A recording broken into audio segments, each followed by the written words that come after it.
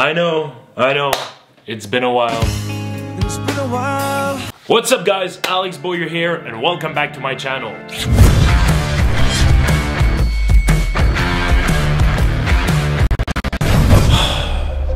I've missed you so much. Hope you guys partied hard for the new year. I know I did. Before I start anything else, here's a French message. Salut tous mes amis francophones euh, sur cette chaîne-là. Ce message-là s'adresse à vous. C'est drôle parce que le reste des gens qui me suivent présentement, ils vont rien comprendre de ce que je dis. Euh, dans le fond, je viens de sortir ma nouvelle chaîne francophone sur YouTube. Je vais me concentrer seulement sur des vlogs. On va faire beaucoup de niaiseries, beaucoup de stupidité aussi, mais ça va être vraiment drôle. Puis en espérant que vous allez vous abonner sur cette nouvelle page-là, j'ai beaucoup de surprises pour vous. Puis euh, c'est ça, fait que je vais arrêter de parler en français à partir de maintenant. What is up guys? I know I didn't post for a while guys, but this is because I had to work on a lot of different projects. I'm so happy how everything turned out. 2020 is gonna be crazy and I can't wait for you guys to know what's going to happen. I also just came back from Vegas with uh, some of my best friends. It was awesome from what I can remember. But I'll stop talking and let's just get right into the video. Ah, let's go! So when I was in Vegas, I actually performed a lot of magic there and the only thing I had on me was a deck of cards. So what I did was this. I forgot about the cards and I was like, how can I possibly perform magic with nothing that I have on me? So that was my goal basically. And I love doing this. I do that all the time when I go in bars and restaurants and stuff like that. And I think that's one of the greatest skills to have in magic is to perform with anything that you see. Paper, coin, straw, milk container, napkins, a borrowed object or a ring, a booger, but anyway, all this to say that if you guys are able to perform with anything that surround you, it is truly a beautiful skill to have. So today, you're going to learn three impromptu effect or organic effect you can do anywhere, anytime with any object. And if you're ready to learn those effects, like this video and let's get right into it. Alright, so for the first effect, it's called the flip stick move. You can take any pencil, any pen, a straw, a coffee mixing stick, and the move goes like this. You take the object and you make it vanish just like this. You can see that it's not here, but you can make it reappear just like that on the tip of your finger. You can actually place uh, the pencil right here and you can make it vanish and make it come back whatever you want. And that, my friend, is pretty cool. I'm not gonna go in full details for that just because I wanna give space to your imagination. I think that's my goal here on YouTube, is to show you a small piece of information about the move or the effect, and you guys can make it your own. So, the actual move goes like this. This is in slow motion. The object is going to flip like this. So now, it looks like I have nothing in my hand, but in reality, I have the object hidden right here okay? So here's the actual handling of the move. You're going to hold the tip of the pen with your thumb and your first finger just like this. Also, your middle finger is going to be here. This part of the pen is going to contact with this part of your thumb on the other hand. And watch what happens if I remove my first finger here and I put a lot of pressure like this with my middle finger and my thumb here. Watch what's going to happen. The pen is going to fly in someone's eyeball. So that's why you're holding it with your first finger as well. So watch this. This is the move in slow motion. If I put pressure here with these three finger here, so my thumb on my right hand, my middle finger on the right hand, and my thumb on the left hand, but I keep my first finger here, I can actually keep the pen in this hand. And it looks like I have nothing in my hand, right? Don't walk like this, you're gonna be a bit weird, right? Sir, can I show you a magic trick? That's gonna be a bit awkward, okay? Don't walk like this, it's super important. Okay. But all this to say that this is not hard to do. The only thing that is hard is to have it with a good beat, right? Don't do this, right? I see a lot of magicians like doing lots of different movement at the same time. So it's one movement. You show the pen and you make it vanish just like that. And keep your hand natural as well. Don't be super crooked like this because people are going to know that you're hiding something in your hand. So the best way to do it is one, two, three, make it vanish. Show that you have nothing in your hand. You can actually transfer the pen to the other end like this and you can make it appear just like that. Another thing that I like doing with that is to create a black hole with my hand. So I go like this, and the only thing I do now is this. Got you there. But for real, you do this with your hand, and you tell the spectator that this is a black hole. And you say, watch, I'm going to place the object in the black hole here. Watch this. One, two, three. And the third time you can see that it's pretty much gone, right? And you can't actually take it back. Again, this is exactly the same move, but there's uh, little subtleties that goes into the same move. And I'm gonna show you this right now. So when you're doing this, the spectator can clearly see that the object goes here, inside of the hole, okay?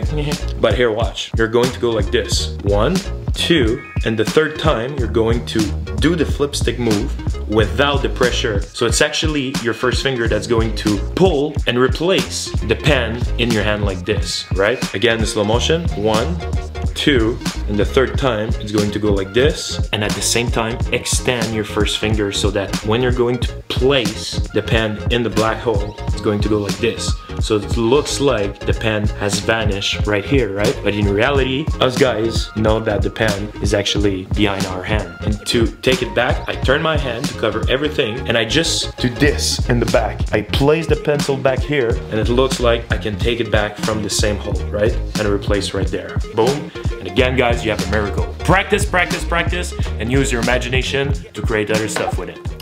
Okay, now for the other effect, it's something that I do all the time, literally all the time when I go out with my friend. And the reason is that it uses only any napkin. You can use a coin, you can use napkin, you can use a small piece of lemon in a bar, you can use a coin. You guys are going to be able to make the object vanish. And it goes like this. It's only a false transfer. So when I say I'm going to place the ball right here, I actually place the ball uh, right here, okay? So don't blink, I'm going to place the ball right here. And again, if I blow and I snap, you can see that the ball actually vanishes just like that and you're completely clean. The method is this. When I say I put the ball here in my hand, I do it for real once. And that is just because I want the brain of the spectator to remember the movement. So here, I'll give you a quick example of what I mean. The brain can remember movements, right? So what's going to happen is that the brain of the spectator will tell themselves that this movement is a natural and completely normal movement. Nothing weird is going on there. Let me show you. Watch the ball. Okay? Watch the ball. Watch the ball. Watch the ball, and it's gone, right? It's not gone, it's in dead hand, but your brain told you that I did a completely normal action. Here's the move with one hand. Okay, so we're going to practice to take the ball between your first finger and your thumb, and you're going to take it and place it in your hand just like that, right? Like this. Okay, that's my favorite thing to do. Practice, practice, practice. After this, you need to combine different action with this one. The natural way to do it is to take the object and place it in your hand. But us magician are going to do this because you need to put the focus on this hand that's holding the object, right? So you take the object, you show it, you're going to do the move that I show you, but right after, this hand close a bit. So like this, now do the movement and point. Remember that the object is in that hand and let this hand drop naturally. Let it swing a little bit, you know what I'm saying? Right? Don't be like this, but don't be like this either, all right? Just let it fall naturally like that. And that hand is not completely closed, right? Because if I have an object in it, the hand's gonna be like this, right? I'm not gonna be super tight like this and it's gonna be a bit open. So make sure when you grab the object and you place it here, even if it's not there, you keep your hand a bit open. That's what sells the illusion. Snap your fingers, maintaining the object in your hand, or just drop the object under the table. If it's a napkin, it's not gonna make sound and make it vanish slowly, just like that. You can open your hand, tap once, and you just made any small object vanish. Hope you guys enjoyed that one.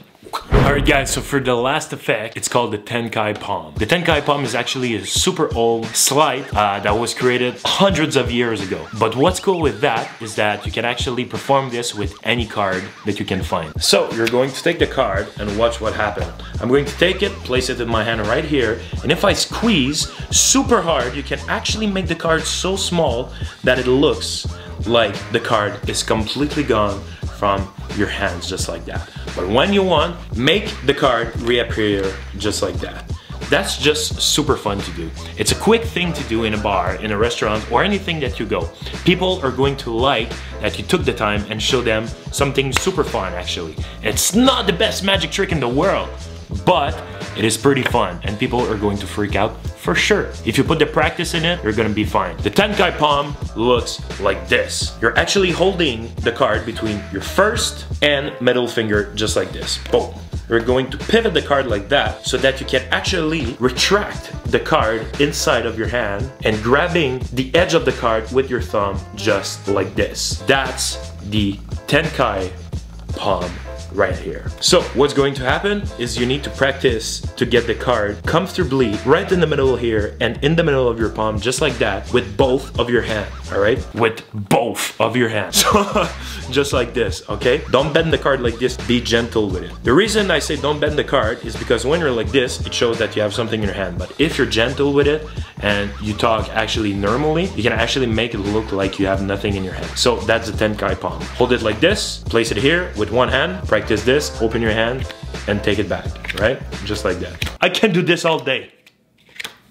Okay, what you probably already seen on YouTube is this. You take a card and you throw it and the card is gone, right? Uh, it's good, but there's no purpose to it. What I'm gonna show you here is actually a quick little routine that hopefully will get uh, your imagination to work and to create other stuff with it. So I take the card, I place it in my hand just like that, I point, and I make it look like I have it, and I don't worry too much about that hand, right? The spectator is going to be focused here. I approach the hand, I squeeze, and I make it look like I squeeze it so much that it's becoming so small and now it's gone. Now I have this in my other hand and watch how cool this is. If my hand is like this, I can actually rub this hand, right?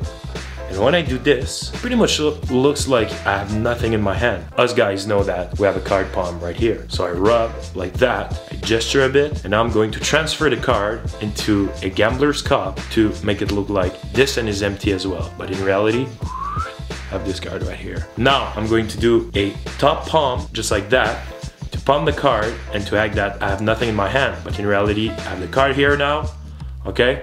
And now I'm just gonna make it appear in any possible way that I know. You can make it appear as a Tenkai, okay? You can actually just do this as well. Any way that you prefer, you can actually make the card vanish and disappear as well. Hope you guys enjoyed that. Again, this effect, I do it all the time. It's super amazing. You can do it anywhere, anytime. And make sure you use random object as well. It's always better to not have uh, a gimmick or something super weird that us magicians are the only one in the world to have like a silver half dollar in Canada doesn't make any sense, right? So use borrowed object or random object. You're going to be fine. Practice, practice, practice. And yeah, hope you guys enjoyed that. Thank you guys so much for watching this video again. I know it's been a while, but I'm super happy to come back here. Again, guys, if you like this video, don't forget to subscribe, do all that good stuff, like this video. My name is Alex Boyer, and I'll see you guys really, really soon. Peace!